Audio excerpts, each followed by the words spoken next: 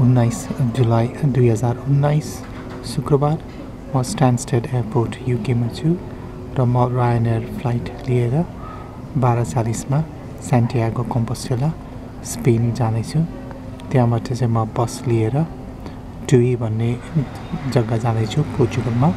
त्यसपछि चाहिँ म हिँड्दै सात आठ दिन लगाएर सय किलोमिटर हिँडेर दुई पोर्चुगलदेखि सेन्टियागो पुग्नेछु।